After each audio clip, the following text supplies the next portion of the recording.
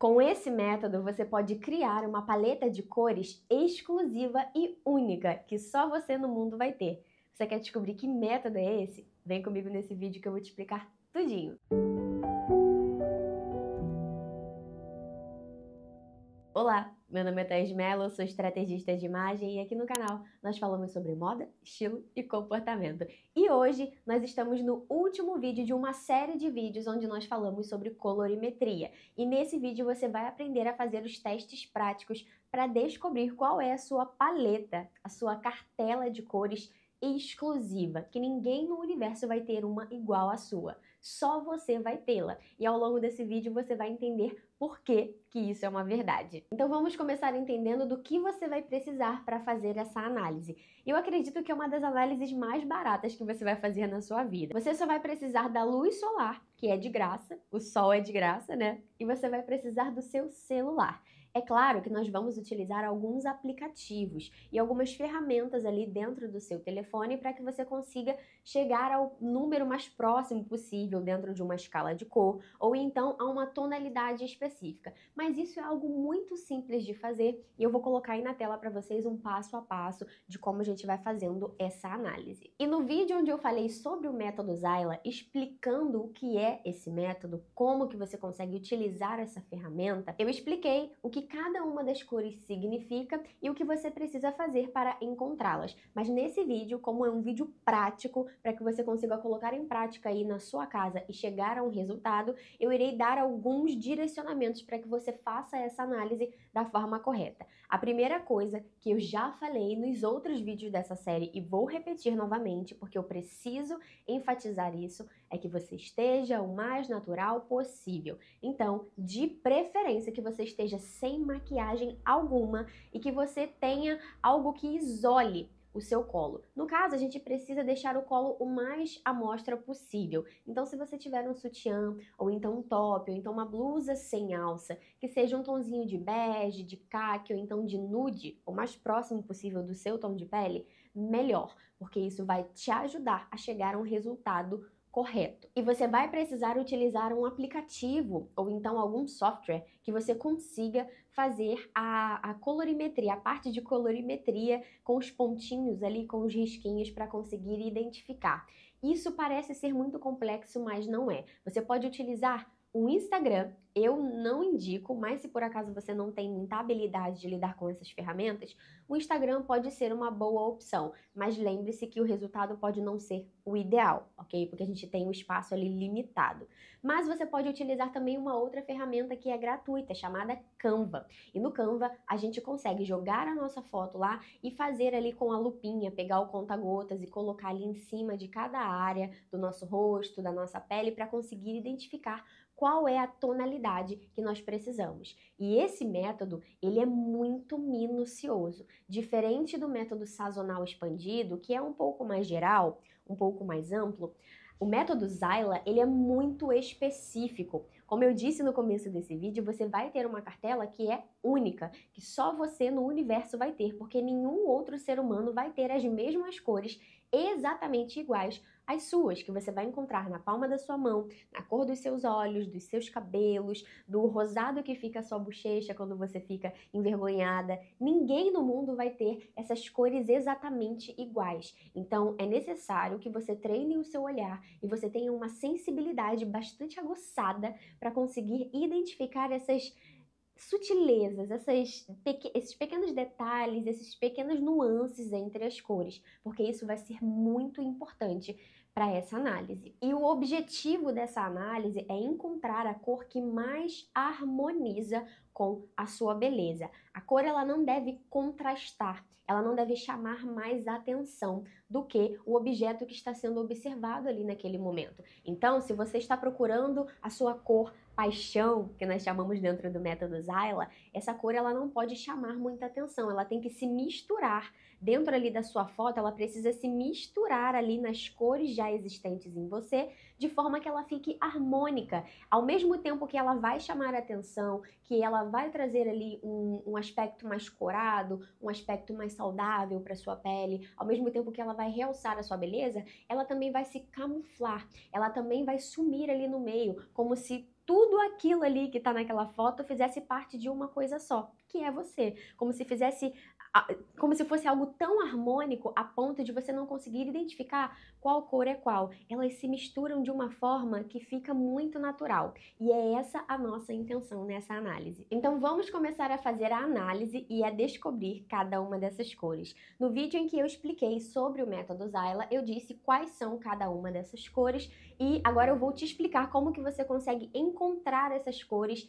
que já existem em você, porque o método é baseado nas cores que já existem em você e você só vai descobrir que cores são essas e replicá-las na sua maquiagem, na sua vestimenta, nos seus acessórios, para que você tenha uma imagem o mais harmônica possível. Vamos começar pela cor romântica, ou que nós chamamos de cor paixão, que é a cor mais intensa, aquela cor que te traz, que te evoca aquele sentimento de paixão. Essa cor ela é vibrante, mas ao mesmo tempo ela não tem um contraste absurdo com a sua pele, com as suas cores, ok? Geralmente ela é utilizada em batom, em vestidos e como diria Audrey Hepburn, toda mulher tem o seu tom de vermelho e a cor romântica é a sua versão de vermelho e cada uma de nós vai ter uma versão diferente de vermelho. E para identificar essa cor, nós vamos tirar uma foto da nossa palma da mão, independentemente de qual palma você escolher, ok? Pode ser qualquer uma das duas. Mas, como eu já disse, você precisa estar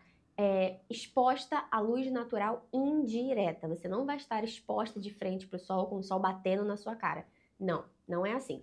Vai estar de dia, vai estar sol, vai ter a incidência solar, mas ele não está diretamente sobre você como um holofote, ok? Está claro lá e você só chega perto da janela ali ou perto de uma porta, de uma varanda, onde a luz do sol ela consiga iluminar o seu rosto. E no caso agora, nós estamos falando da palma da nossa mão. Então você vai fazer aquele testezinho que nós fazemos contra a luz e você vai ver, quando cria sombra é porque você está contra a luz. Aqui, por exemplo, está criando sombra porque eu estou de frente para uma fonte de iluminação, que é o refletor, e ela está criando uma sombra. Quando eu viro de costas, aí a minha palma da mão já não tem mais sombra, porque agora eu estou de frente para o segundo refletor que está aqui atrás de mim. E é assim que a gente vai fazer essa análise. Você vai colocar a palma da sua mão de frente para a luz, ou seja, você vai ficar de costas para a luz e a sua palma vai ficar de frente. Então evita colocar a palma aqui na frente né, do seu rosto. Coloque ela mais na lateral, porque assim ela vai ficar diretamente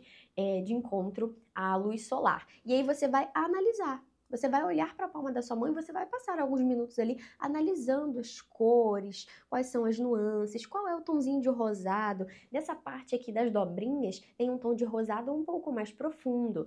Na outra parte aqui, nesse cantinho, nós temos um tom um pouquinho puxado para o bege. Na ponta dos dedos já é uma outra tonalidade. E aí você vai é, explorando essas nuances de rosado, de avermelhado, de alaranjado. Aí vai da, do tom, né, da tonalidade da palma da sua mão. E você vai tirar uma foto da palma da sua mão. Depois de você passar um tempinho ali analisando, identificando essas sutilezas, essas nuances de cores, você vai tirar uma foto. E o ideal é que essa foto seja o mais próxima possível da cor real. É claro que nós temos o celular, cada câmera, cada tela vai ser diferente, mas que você chegue ao mais próximo possível da cor natural. E essa, essa foto não precisa ser tirada em um ambiente qualquer, ok? Você precisa isolar. Então você vai pegar uma folha de papel ao maço, ou então papel A4, que nós chamamos, que é aquela folha branca, normal, é, número A4, se eu não me engano, é o tamanho, pode ser maior, pode ser menor, pouco importa.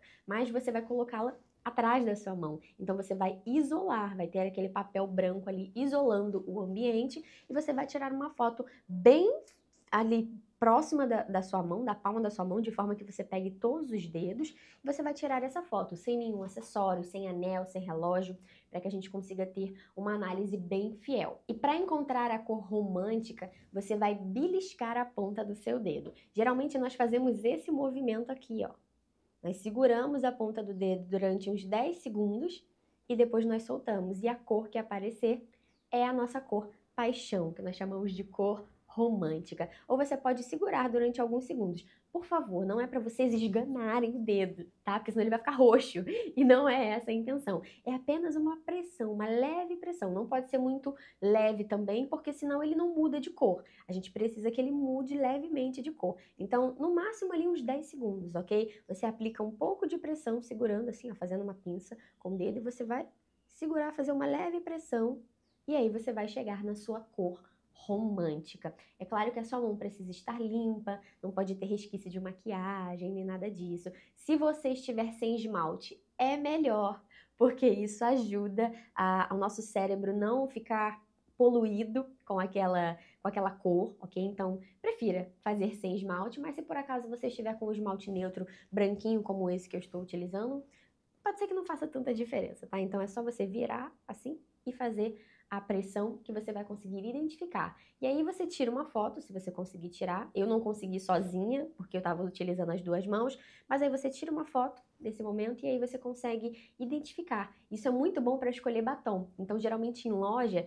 tem aquele, aqueles, aquelas amostras, né, com os batons, e você vai na parte de rosados ou então de nudes e você aperta o seu dedinho, 10 segundos e você vai passando ali os batons. Naquele que ficar mais próximo, aquele é o seu tom de batom ideal, que vai realçar mais a sua beleza. Agora vamos para a cor de essência. Essa cor é como se fosse a sua tonalidade, a sua versão de nude. É a cor que mais vai harmonizar com o seu tom de pele. Então essa cor ela meio que vai sumir no seu tom de pele. Ela é a cor ideal, a cor que mais vai harmonizar, que mais vai se misturar com o seu tom de pele. E essa cor é muito bacana para você utilizar é, em peças que você precisa trazer um pouco mais de leveza, um pouco mais de delicadeza e também transparência. Então você vai pegar essa foto da sua mão e você vai colocando a lupinha e você vai mesclando as cores que você acha que façam mais sentido, que estão mais próximas. E essa cor, ela precisa sumir ali no meio. Ela precisa se tornar uma só com a foto da palma da sua mão. Então você vai ali testando, pega uma cor, testa, pega outra cor, testa, coloca o contador o, o contador de gotas ali em cima para você identificar qual é a tonalidade, bota em um lado da mão, bota no outro lado, bota na ponta, bota no meio. E você vai tentando ali, vai testando até que uma cor vai harmonizar ela não vai destoar, ela não vai chamar tanta atenção, mas ao mesmo tempo ela não vai sumir completamente. Ela vai estar ali, mas ela vai estar tão harmônica com a palma da sua mão que aí você vai conseguir saber que aquela é a sua cor de essência. Lembrando que não é indicado utilizar essa cor em ambientes corporativos ou no seu trabalho, por exemplo. O ideal é que você utilize essa cor em momentos mais relaxados, momentos de relaxamento, de divertimento, com a sua família em casa, por exemplo, porque ela é uma cor que é muito íntima, se eu posso assim dizer. Então, o ideal é que você a utilize em momentos mais íntimos. Agora vamos falar da cor dramática, que é a sua versão de azul. Mas antes de nós falarmos dessa cor, eu preciso te fazer um pedido.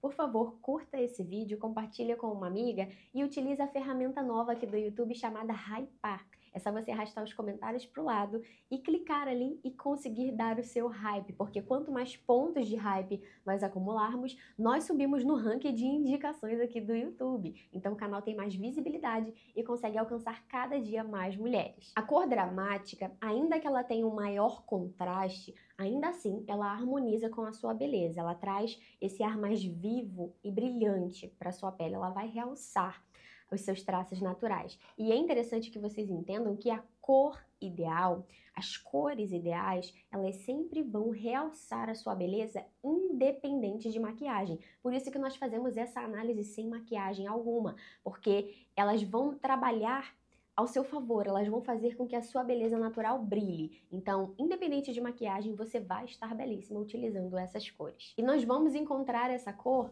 nas veias do nosso pulso. Nós vamos analisar qual é a cor predominante, se é uma cor mais azulada, se é um azul mais esverdeado. Lembra que nós falamos que esse é o nosso tom de azul, é a nossa versão de azul. Mas existem centenas de milhares de nuances de azul. E é claro que cada uma de nós vai ter uma veia ali, as veias, em uma tonalidade predominante. Algumas pessoas têm as veias mais arroxeadas, outras mais esverdeadas. Eu, por exemplo, tenho as duas. Eu tenho tanto as esverdeadas quanto as arroxeadas, porque eu tenho um subtom de pele puxando ali para o neutro. Mas isso não é um problema. Você vai procurar aquela que predomina, aquela que domina a cena. Ainda que tenham outras ali em segundo plano, tem uma que vai dominar.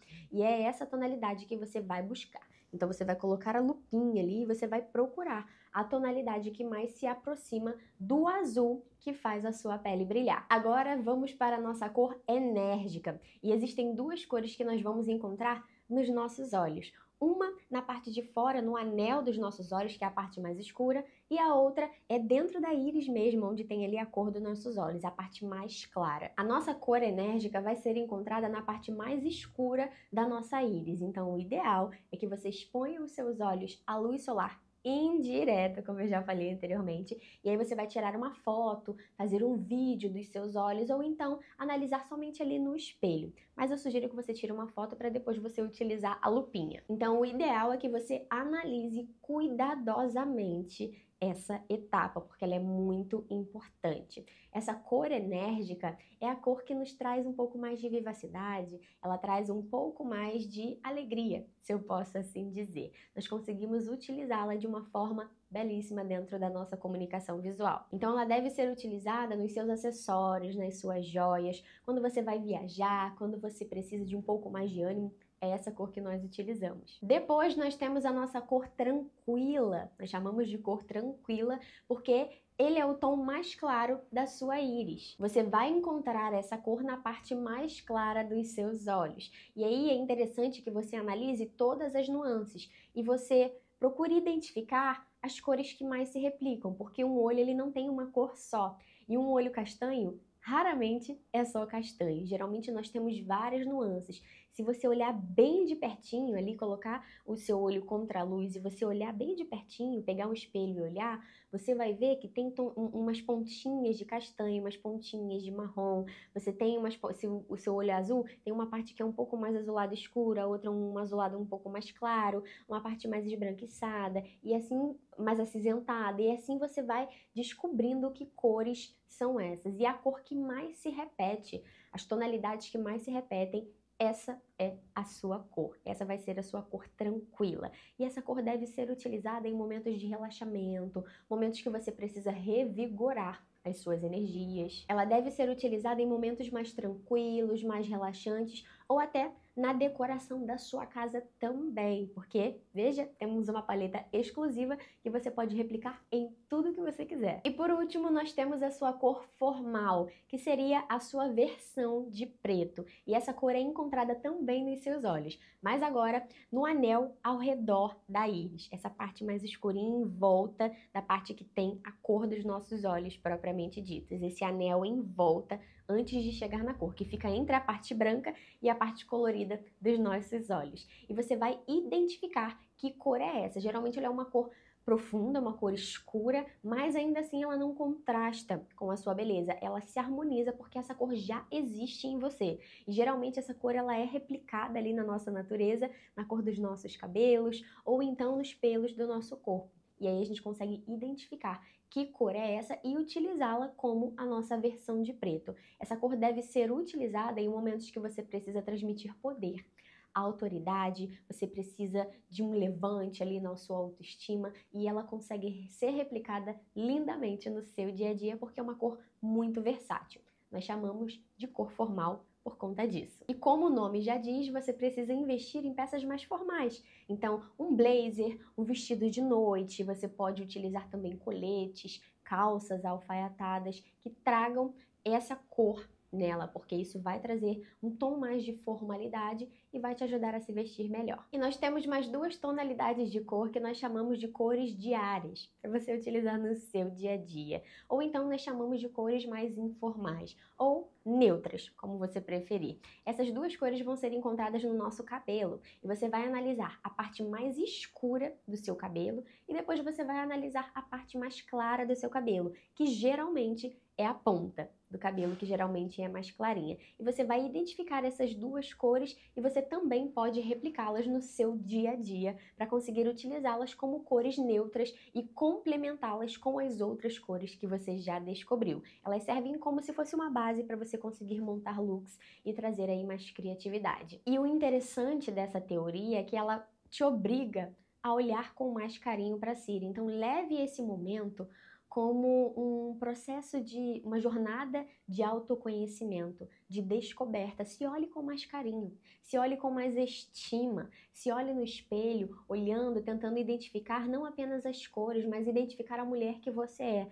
Faça disso um momento poético, né? Faça disso um momento especial. Quando você terminar de fazer ali as análises, pega ali um, um suco, um chá, um café, é, bota uma máscara no rosto, senta para assistir uma série, come uma pipoca, Faça disso um momento especial, faça disso uma jornada de descoberta muito especial, porque isso ajuda bastante na nossa autoestima. E nós não estamos falando aqui somente sobre cores, nós estamos falando de realce de beleza, nós estamos falando de levante de autoestima. E é isso que eu quero que vocês levem para dentro da casa e do guarda-roupas de vocês. Não apenas cores. Acima da moda, acima das teorias, a mulher a pessoa que você é. Então eu quero te fazer esse convite de se olhar com um pouco mais de carinho, com um pouco mais de amor, que a gente às vezes se trata tão mal. E nós tivemos uma live fazendo perguntas e respostas, eu respondi as perguntas de vocês, tivemos ali uma interação bem bacana e essa live só ficará disponível até a semana que vem. Então eu vou deixar o link aqui na descrição e vou deixar aqui no card também